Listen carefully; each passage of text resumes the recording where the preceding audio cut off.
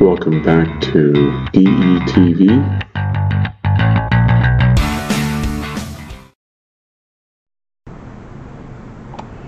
We are now about to use what's called the miter line method. This method is to transfer features from a top view to a side view or vice versa, a side view to a top view. So the miter line is a 45 degree line that will transfer objects and you make that always in the construction line mode. So we're going to turn on our construction lines. We're going to shift to construction lines. And we are going to create a line in construction lines from this corner to this corner. This is called a miter line. 45 degree line that will transfer objects from either the side to the top or the top to the side.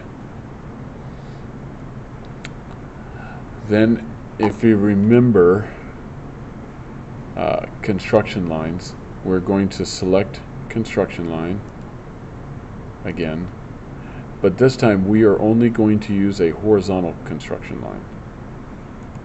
And so what we're going to do is select different points all along here. So this one, this one, this one, this one, this one,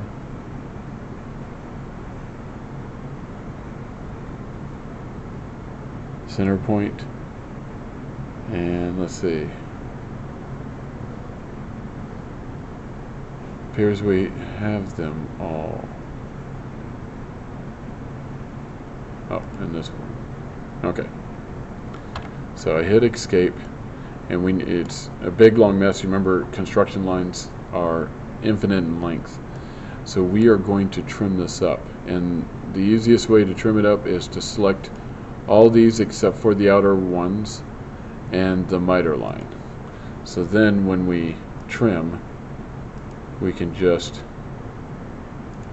select like that and trim up the construction lines.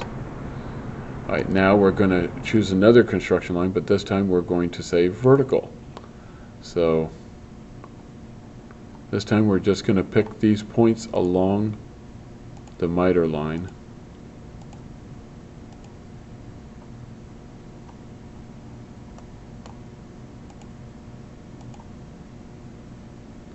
to transfer down to the other object.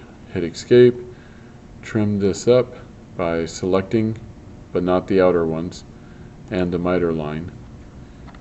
Trim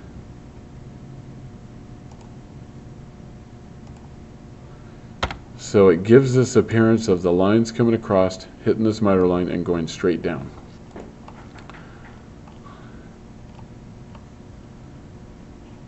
Once we get that set up, we need to do a couple more uh, layers. Now, these layers are going to require you to load different types of lines, and I will show you how to do that. So again, we need a new layer and this layer is going to be called hidden. The color is cyan, which is this light blue here. And if you notice, as soon as I click it, it says cyan down there. So I click that. Um, but then it says it needs a hidden line instead of a continuous. That's the line type. So I click line type and this comes up and the only thing I have to choose from is a solid line continuous so I have to load other ones. So I'm loading and it says the line type is hidden. These are all in alphabetical order. You notice A here and as we go down B C D E F and hidden. Now this is a two-part process because I've selected hidden. I'm going to push OK. That doesn't if I push OK here it means that I'm still on continuous. So you have to load it and then select it push OK and it changes to hidden. We're going to put one more and we're going to call this one center. And it is red.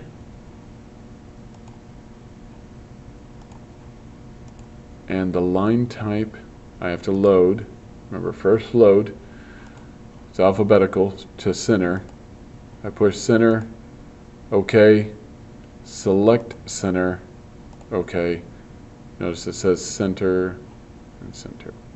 You can close this and you have those layers. Okay it doesn't say to clean up my construction lines. In fact you'll see they continue past here but I always like to select this construction line. Select these. Trim.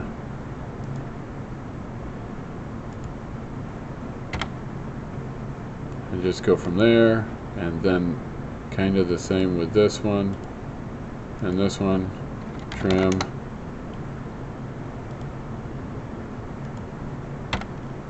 So they really don't need to go past the object It doesn't say I need to do that. So we've we've created our center, construction, hidden, and object. Now you notice no matter what order we put them in, it reorganized them in alphabetical order.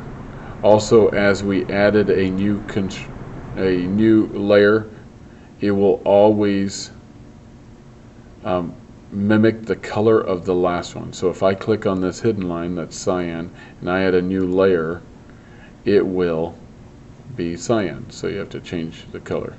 I am going to delete this layer now. Alright, so center, construction, hidden object.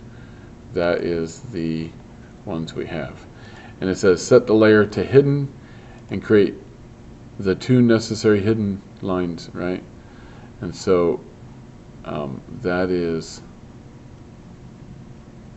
oh no, first, I'm sorry. Using the running object snaps, create the necessary object lines in the slide. So this one, this one, this one, and this one on those. So I'm going to make object line my go-to one. I'm going to select line and I am going to go to the first line, create an object line, space, space, this one, click, space, space, this one, click, space, space, and then of course the last construction line there, space. Then I'm going to select hidden and do the two lines right on either side as hidden lines.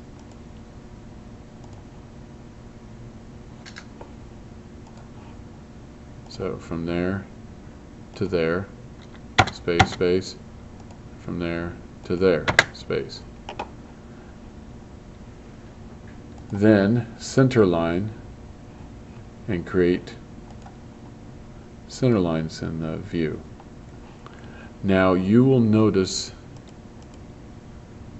center lines go past a bit. So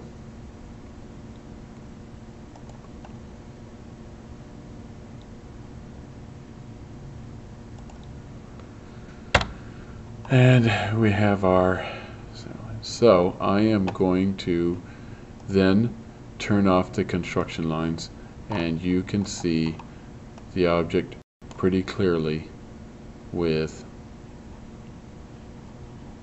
now this center line is not centered on this object and there's several ways you can do it. One way I'd like to do is just bring a line temporarily across select this line, select the middle, go to it intersects, deselect it, select the other center line, and delete it. And now I know this line is centered from top to bottom. It's centered left and right, but it now is centered top to bottom.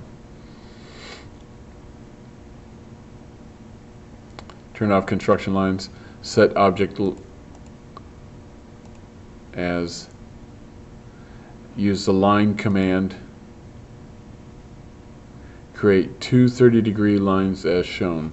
So we're going to start at this point. I'm going to push at. Um, I want a two inch line angle and so to go this way remember this is zero and then up is positive down is negative so I want a negative 30 and it creates that line there for me. And then I'm going to create another line here. I want it at two inches long again but this time at an angle. Remember less than symbol means angle of 210 and then I hit space. So I have these two lines coming down like such. And it says on your own trim and remove the unwanted portions. So we want to select all of this. All of this. Oops wrong way huh? Need it to be green. And each of these angles. Then trim and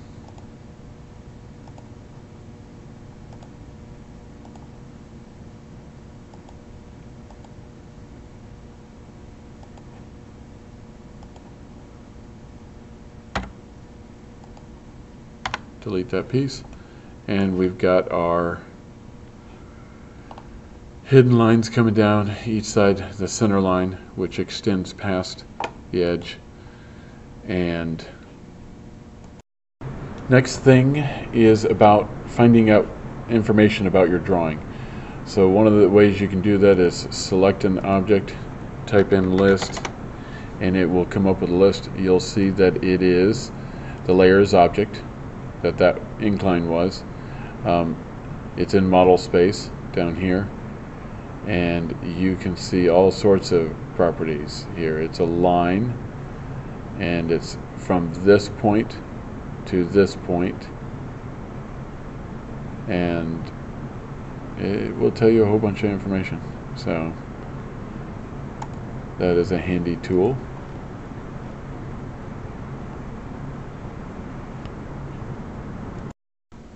Okay, another way of finding information is to use properties. So you can select an object and you can move to the View tab and click Properties. Now, most of the time I just click an object and I right button click and go down to Properties. That's easier for me. Uh, and it will tell you the start, the end, uh, what angle, the length of it, what color, what's the layer, what type of line is it, etc.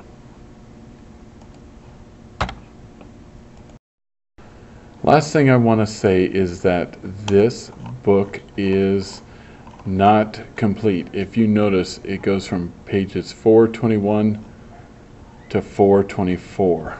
So it's okay to go to the end, but don't forget to pull up pages 22 and 23, which I have on the assignment. And what you want to do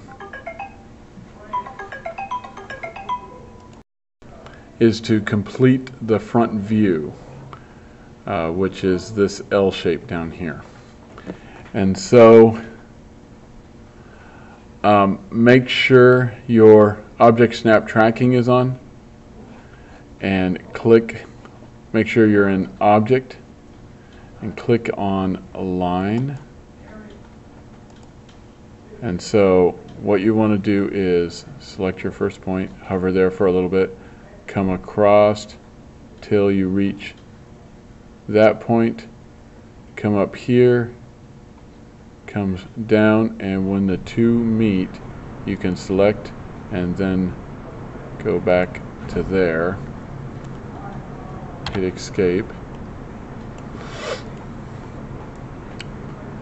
Then you'll want to come up to this line, hover, go all the way across, select, come down that, go up where the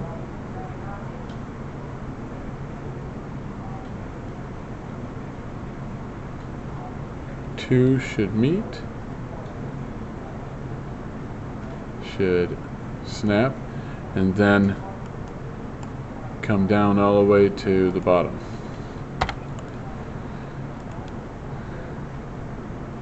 You'll want to add a center and hidden line as such, which is the hidden line. So you want to select hidden line. You want to select line. You'll want to go from the back of this, which we could not see, but it would be hidden line. And then you'll want to make sure center is picked on this and make sure you're on center line. Select line go from the center come down.